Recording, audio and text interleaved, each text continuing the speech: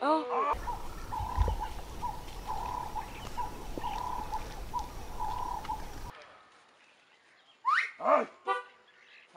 Are they just scaring him? You made it! Yay! The hippo's pissed.